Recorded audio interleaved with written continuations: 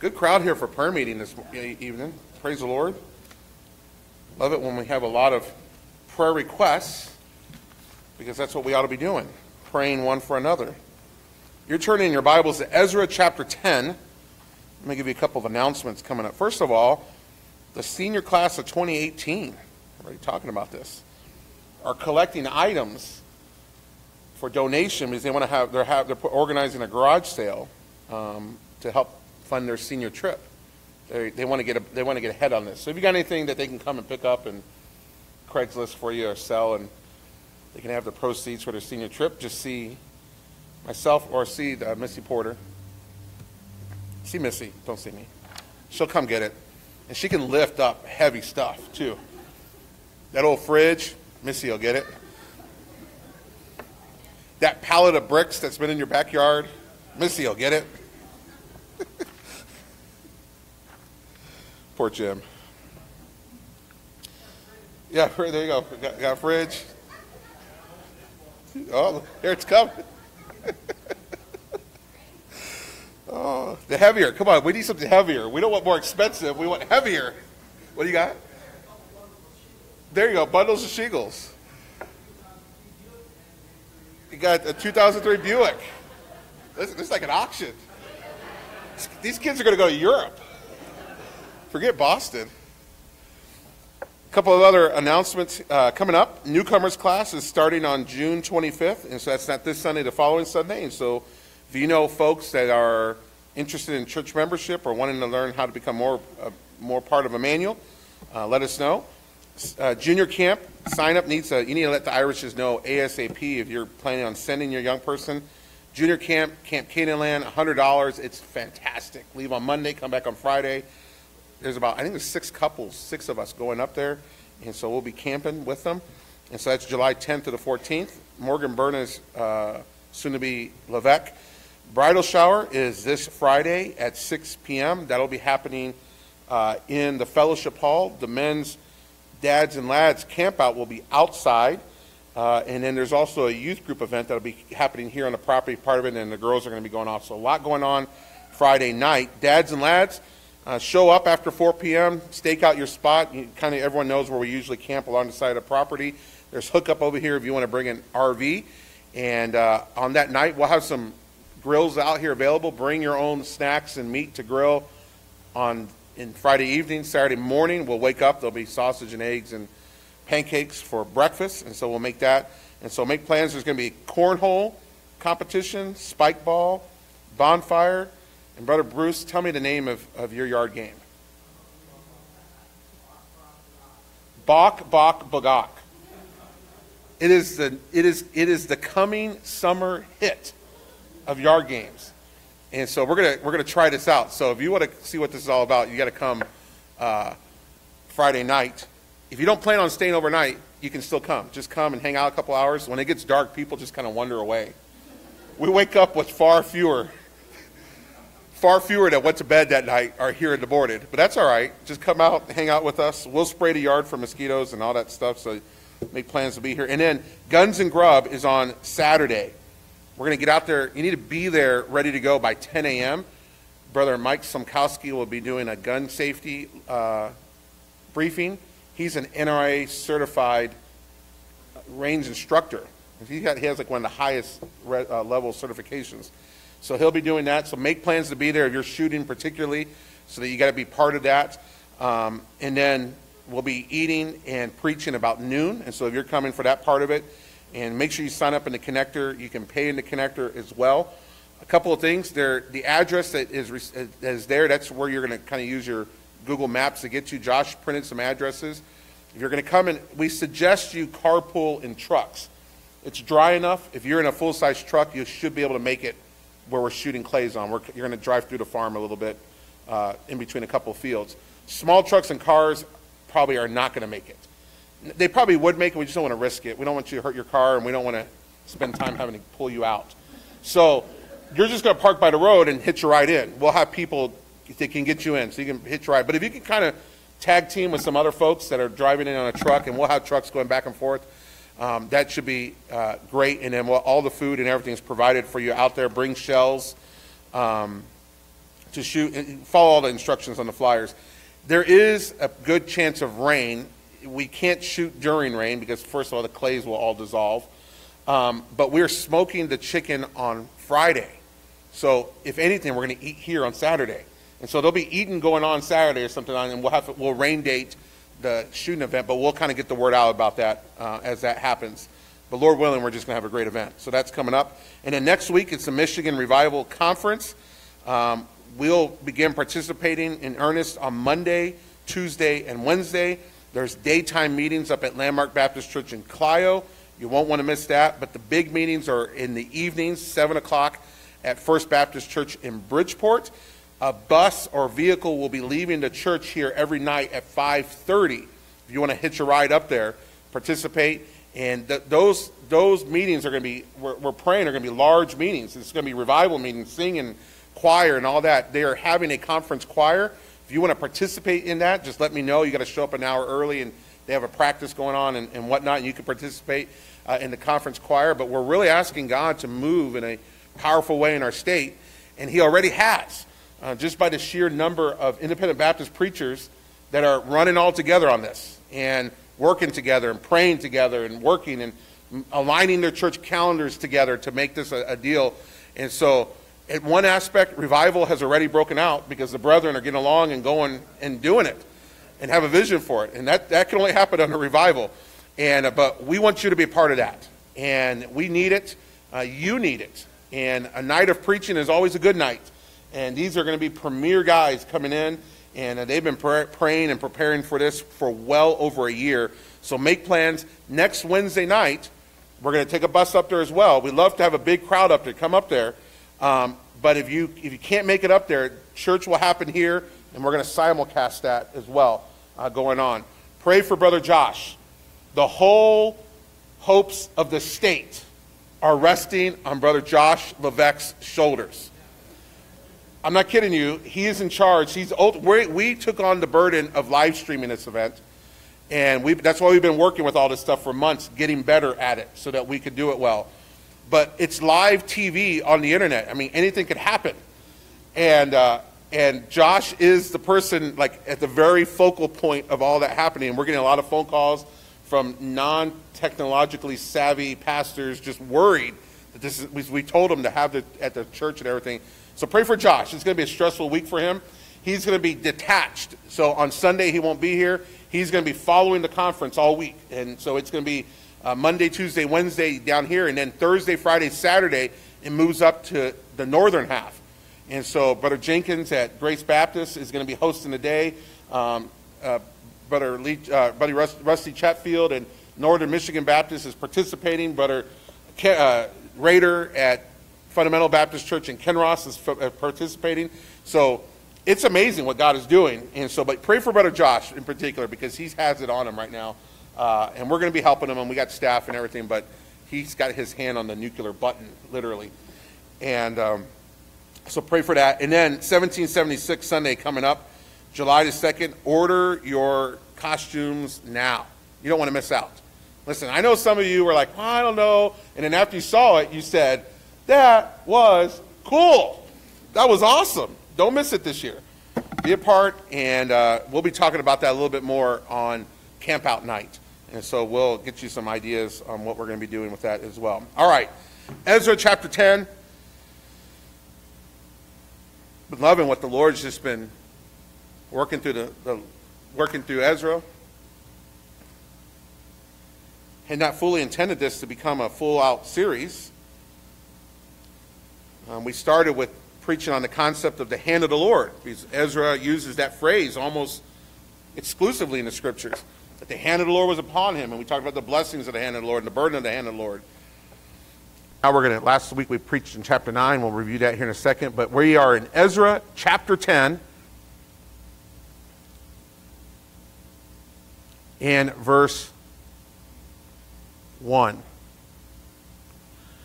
Now, when Ezra had prayed and when he had confessed, weeping and casting himself down before the house of God, there assembled unto, unto him out of Israel a very great congregation of men and women, for the people wept very sore.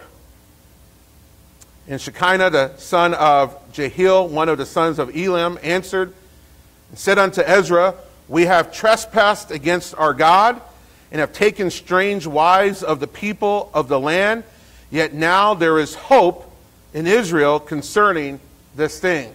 Praise the Lord for God's hope. Praise the Lord for His grace. Even in the darkest moment, beloved, and wherever you're at today, there's hope in God. There is hope in God. There is salvation in the Lord Jesus Christ.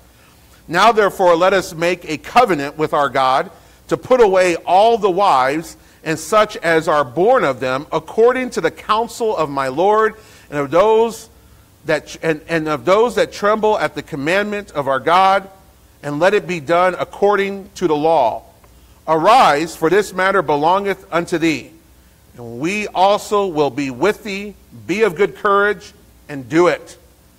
Then arose Ezra and made the chief priests, the Levites, and all of Israel to swear that they should do according to this word, and they swear.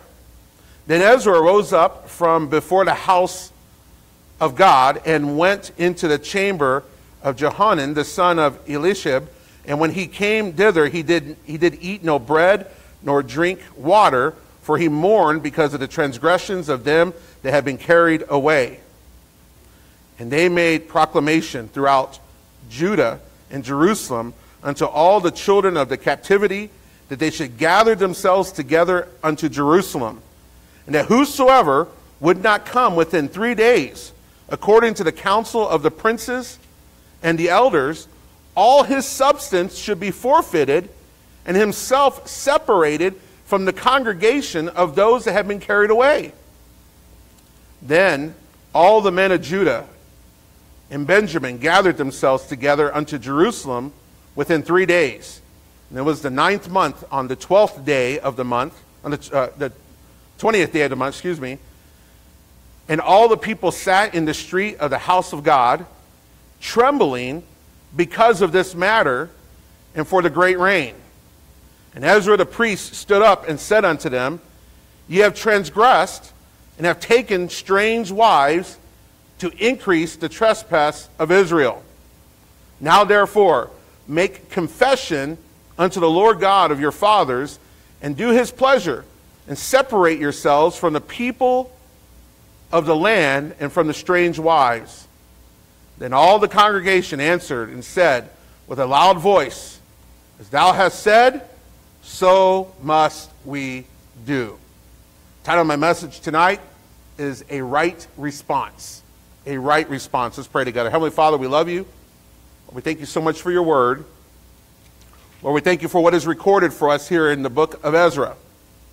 Lord, is your prophet, your scribe, a man of the word, faithful to your word, preaching your word, or proclaiming it.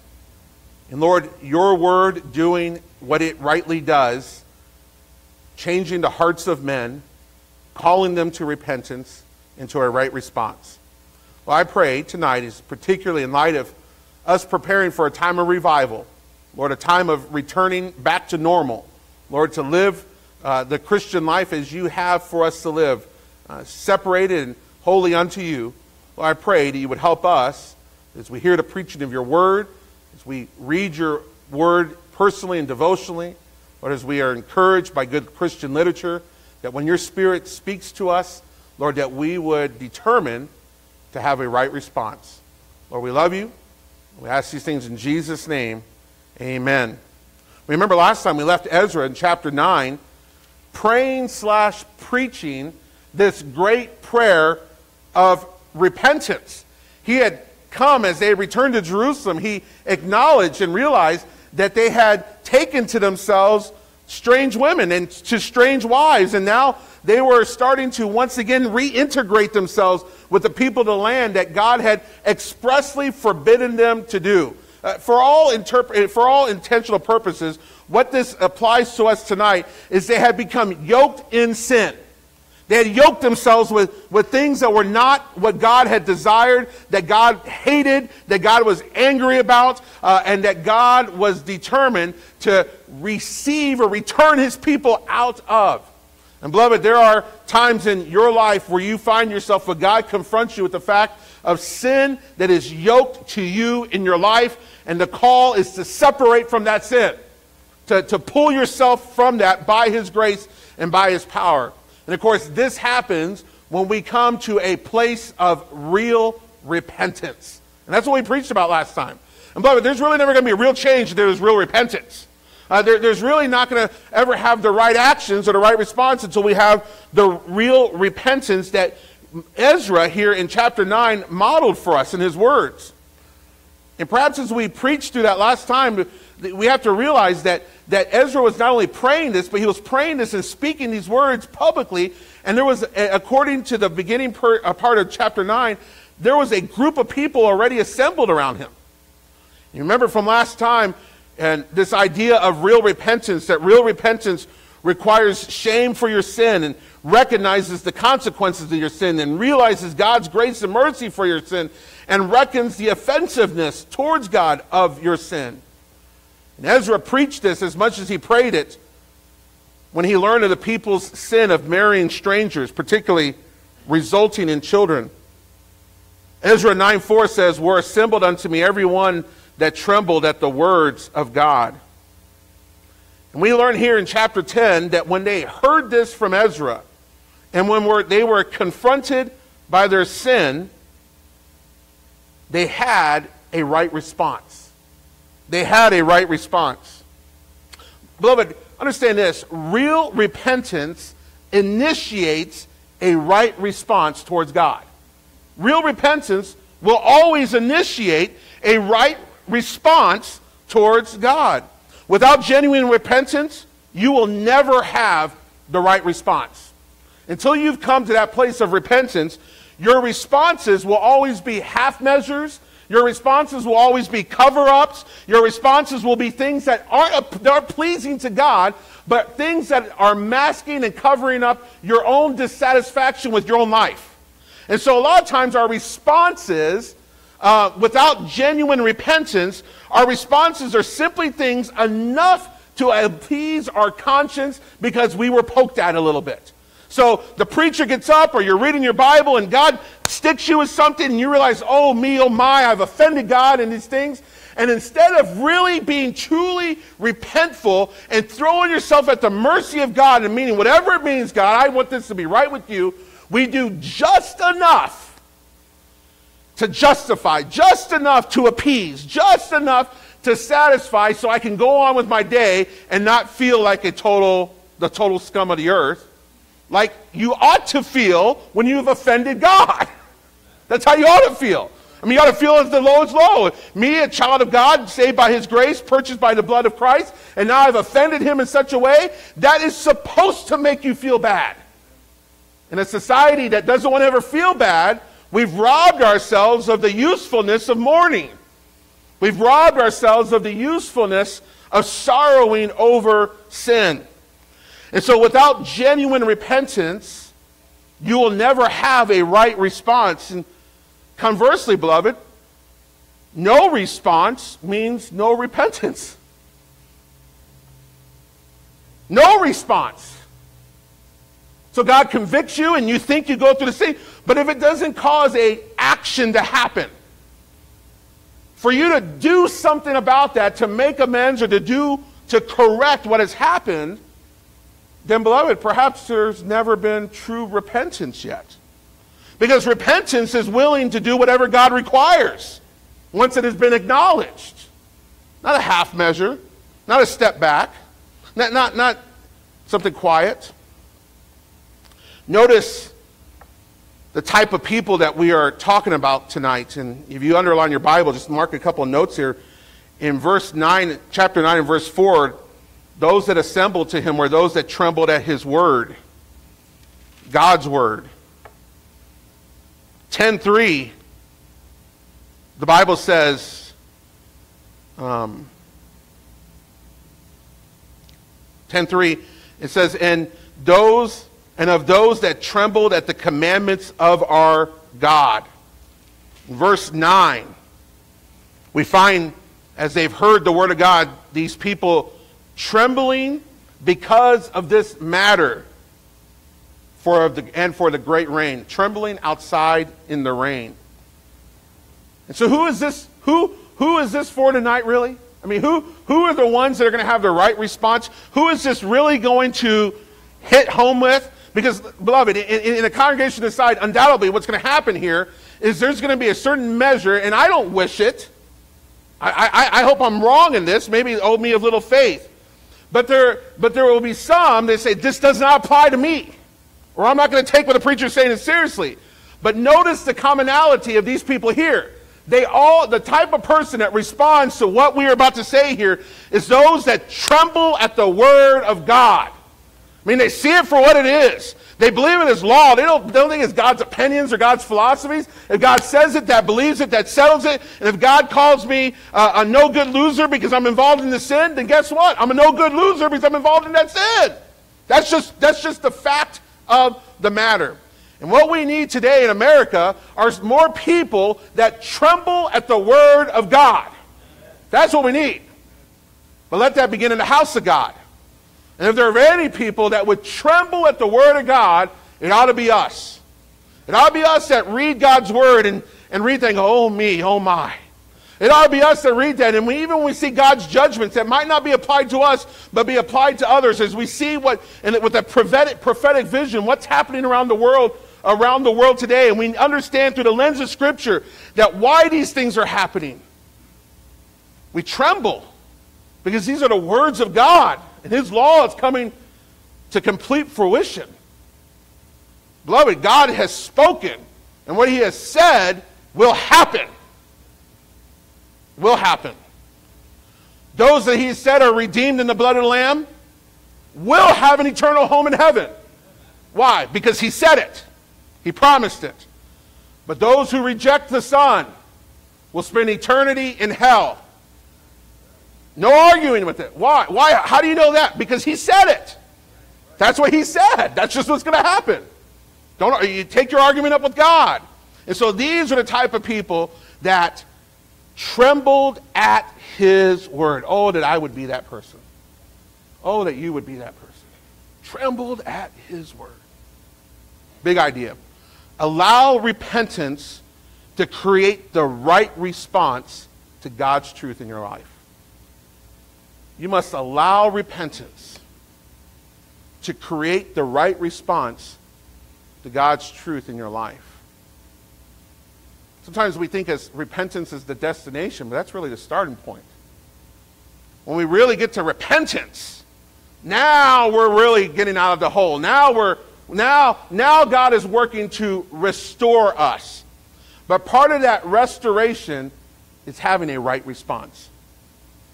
Three things, real quick, about their right response here. Number one, they acted. They acted. Look at chapter 10, verse 1. Now, when Ezra had prayed and when he had confessed, weeping and casting himself down before the house of God, that's basically the summary of chapter 9. There assembled unto him out of Israel a very great congregation of men and women and children, for the people wept very sore. Look down at verse 9. I'm going to kind of parallel because there's these two incidents. One, and the scope gets a little bit bigger, but they mirror themselves. Then all the men of Judah and Benjamin gathered themselves after the proclamation went out together unto Jerusalem within three days, and it was the ninth month on the 20th day of the month, and all the people sat in the street of the house of God, trembling because of this matter, for and for the great rain. They assembled themselves together. First of all, they acted. They acted. They didn't hear God's truth and turn a deaf ear to it. They didn't hear God's truth and be dumbfaced to it. You understand what I mean? I mean, eh, I mean, sometimes, you ever like when you're, you're, you're, correcting your children or you're telling your children something and you say something to them and there's supposed to be a response. And they're, what? Huh? No, no, we're not there yet, Dad.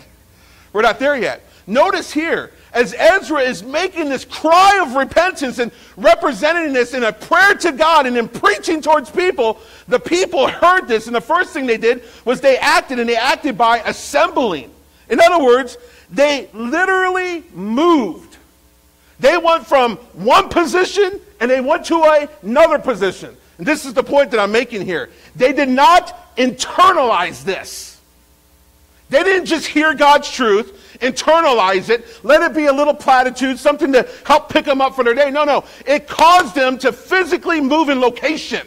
They, they assembled themselves. And as, as Ezra is preaching this and praying this, the crowd that is gathered, there's people mourning. People are walking by going, What's going on here? They hear the words of Ezra and they join the mourners, so much so that the Bible says that the men, the women, and the children were, uh, were weeping sorely. Amazing. See, an inward convincing resulted in an outward action. It resulted in that. They heard something that caused them to be moved. Not only did they assemble, but they abased. Verse 1 For the people wept very sore. Verse 9 They sat in the street in the rain. Ah, that's my paraphrase. I said it like I said in the Bible. I said it in my Bible reading voice. There was no quotes around that. They abased. In other words, they humbled themselves.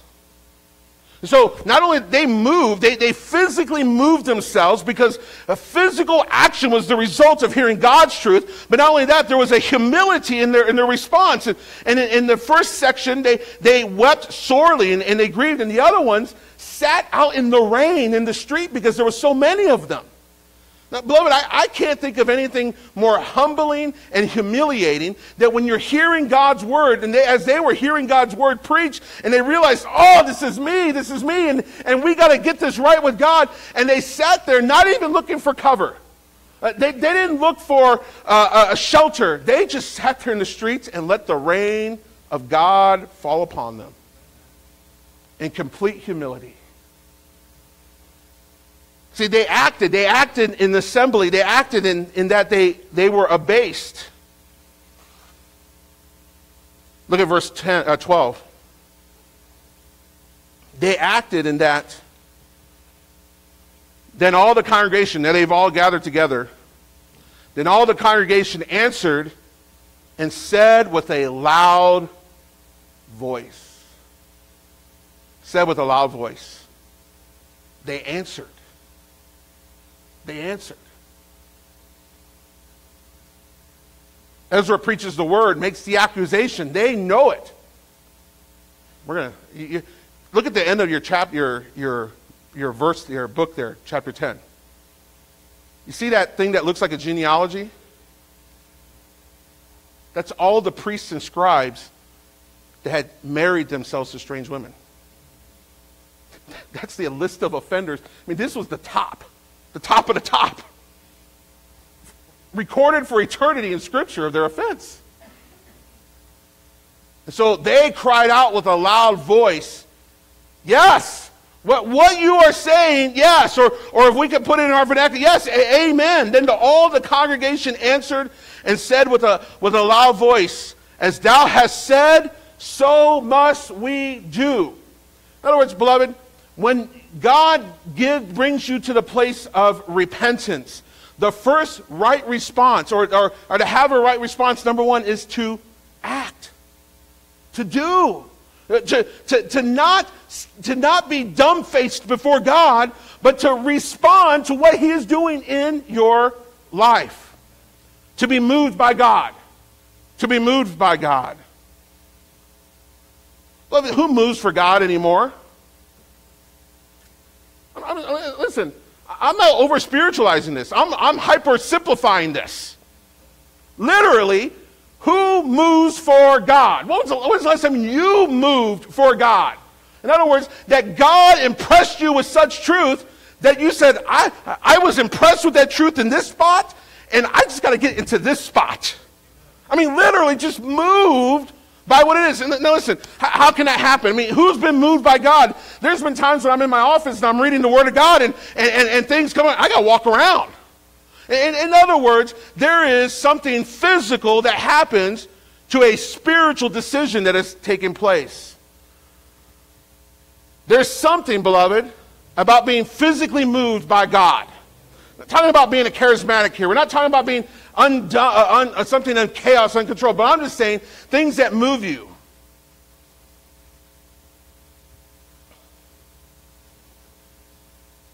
Maybe we can we contextualize this a little bit in our society. The amen and the, and the altar call. Beloved, both modern practices that very much mo- model biblical practices. Both of them. Amen? I mean, I mean, uh, listen, in other words, Ezra was saying something, and the people didn't just look at him and go,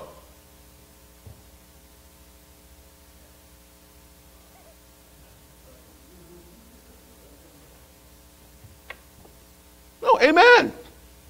Amen. You know, there was, there was, there was that there. And, listen, I'm not fishing for amens, but notice what's going on here. This is what he, that, they called back with a loud voice and they physically moved themselves.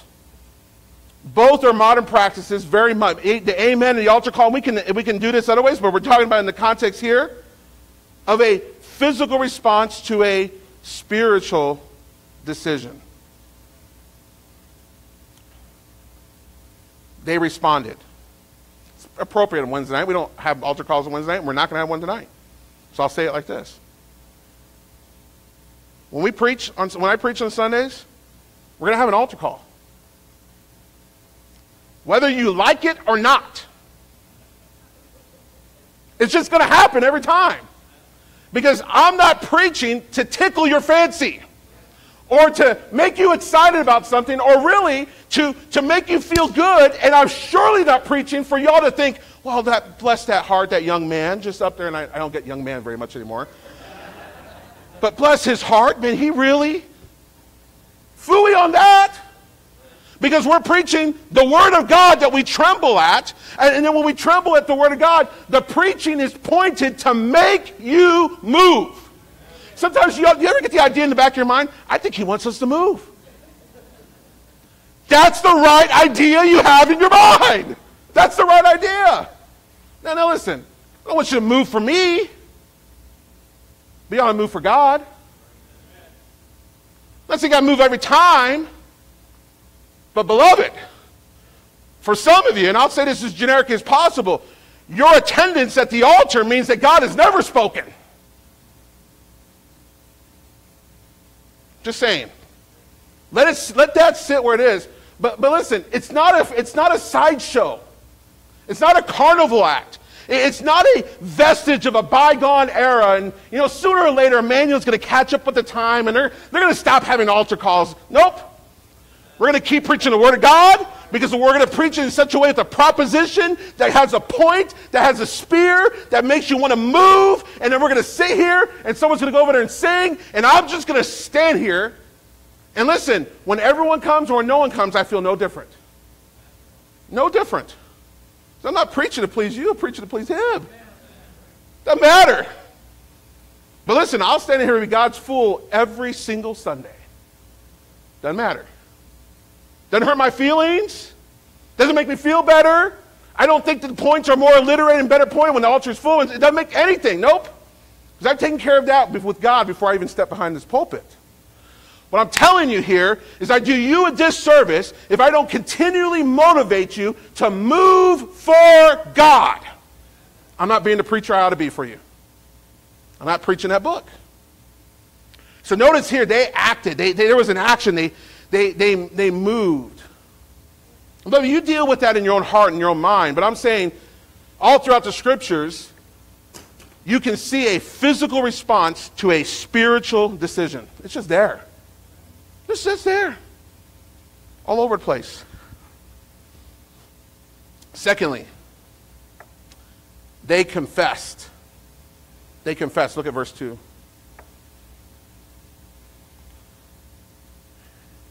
We have trespassed against our God and have taken strange wives of the people of the land, yet now there is hope in Israel concerning this thing. Look down at verse 11. Now there, uh, yeah, verse 11. Now therefore make confession unto the Lord God of your fathers do his pleasure.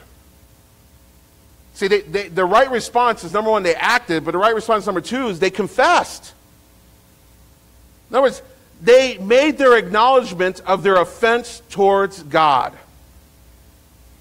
But understand this your offense is not to me. So, man, Pastor Jay, you're preaching, and that, that made me feel bad. I just want to say I'm sorry. Don't say sorry to me. Because I'm not preaching Jason Georges. Uh, I'm not preaching my preference. What we're preaching here is the Word of God, and if the Holy Spirit convicts you, then your offense is towards God. That's who you've offended. Acknowledge your confession to Him. In other words, don't say sorry to me, say sorry to God. Say sorry to God. See, their offense was toward God. They acknowledged their offense towards God. And notice this they identified their offense towards God. Verse 2 We have trespassed against our God and have taken strange wives of the people of the land. Let me tell you what this was not. This was not the weak, Father, forgive us as we have somehow, possibly unknowingly to us, failed you. That has to be the sorriest prayer that believers pray. The generic, the generic we, the generic some possibility, I can't possibly think of one right now. So I'm just going to throw it on. Who are we kidding? Eh, beloved, if we were to really get honest with God, we would never have to resort to the generic we ever, or the generic, uh, if I've ever trespassed you, the trespass is if we're honest with ourselves and walking circumspectly and getting, getting in this word and hearing the preaching of God's word, we got to say, man, God, I, can, I know things I'm dealing with right now, and I know the things that are on the top. And beloved, we know the, the lists are long, but at different times in your life, there are things that God, are deal, God is dealing with you then and now. And so, yes, the, we, we want to hide behind the, the maybe, maybe the genericness of the list is to indicate the broadness of the list. Too many to number, God. But notice what they did. Nope. God, we've offended you. And let us tell, let me, let me kind of give you chapter. God, we're going to repeat back to you chapter and verse for what we did. We have trespassed against our God and have taken strange wives of the people of the land. That's the, you know, Article 1, Section 2. That's the one we broke right there. That's the law. That's the commandment. That was the instruction that we broke. See, confession must be specific, and confession must be personal. That's the right response. So, Lord brings you to a point of repentance, and now you say, I'm going to move, I'm going to act. I'm going to respond to the truth that God has shown me, whether in the context of a church service, the context of my life, by going and correcting the actions, not just going to listen to it dumbfaced. But then, as confession is made to God, it's specific. God, this is what I've this is what you've impressed upon me right now. This is the sin that you've convicted me of. And, and beloved, sometimes that comes in the form of, God, you, I just, you just convinced me of this truth, and right now in my house there is this. And right now in my dealings there is this. And right now in my possession there is this. And, and you confess it to God specifically. And but for some of you, that might be top shelf of the closet. Third drawer of the dresser. Extra channels on the TV. Whatever it might be, that's where it may, uh, the, the secret bank account somewhere. Whatever it is, but you know exactly, and I'm telling you this, beloved, Jesus Christ died for your sin, but he died for those specific sins, and every single one was numbered against him, every transgression. And beloved, when you deal with God in confession, be specific. This is what you've said. This is where you've convicted me. And confession must be personal. Probably one of the most personal things we, ought, we do. Now, notice in the context of what they did, these national sins, their confession was public. They publicized their offense towards God. Let me give you this guideline here, thought here. Confession must be as public as the sin. Now, we're not talking about the erring or glorying in sin. That, that, that's sin, that's carnality and sensuality as well. We're, we're not saying that there's people that, that, well, listen, let me tell you how bad I am, and then go into, no, no, no, no. But, but, but, beloved, if someone has seen you offend God in your life, then you ought to make your apology. Part of your apology to God is by writing that with them. And so, listen, let me give you a great context, man in your home, you do something that's offensive to God, you led your family in a way that's offensive to God, maybe you allowed some uh, indiscretions to your family, you took some liberties that were not right, God convicts you of it, you say, you know what, we don't need those movies, we don't need those channels, we don't need to be having these things going on in our home, but your kids saw it, your wife saw it, they all know that you approved it, so daddy comes home one day, all of a sudden throwing things in the trash can, throwing things and getting rid of it, but part of that needs to also be children, before you and before God, I'm telling you that what I was doing was wrong, and I'm confessing, I've gotten it right with God. Now I'm leading us together, and we're going to get this right with God. See, confession ought to be as public as the sin was. Now, now listen, if you're in a town drunk, and the whole town in here knows you're a drunk, and you're a member, you're a member of Immanuel Baptist Church, well, listen, that's going to get dealt with in a different way. Don't be that guy. Don't be that guy. Don't defame the name of Christ in that big a way. Shoo. Don't do that. Avenge your sin. But if people know of your transgressions against the Lord, then apologize to God in front of them.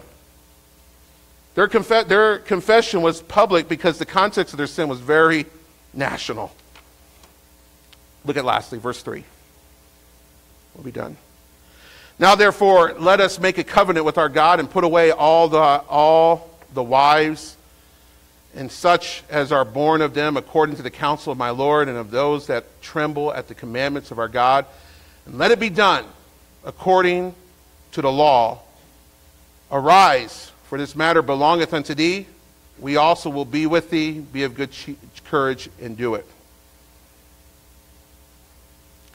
Having the right response, first of all, they acted. Secondly, they confessed. Thirdly, beloved, they committed. They committed. Now let us make a covenant with our God. Pastor Jay, I don't want to make a promise to God if I don't intend to keep it. Back to step one. We didn't come to true repentance yet. I say, I can't promise that to God. I'm only up here on the altar to kind of solve over, to put a little ointment on my transgressions this week, but I have full intention on being back in there next week. I can't make any promises. All right. Well, then that kind of movement is disingenuous. It didn't mean anything. And beloved, that's not repentance.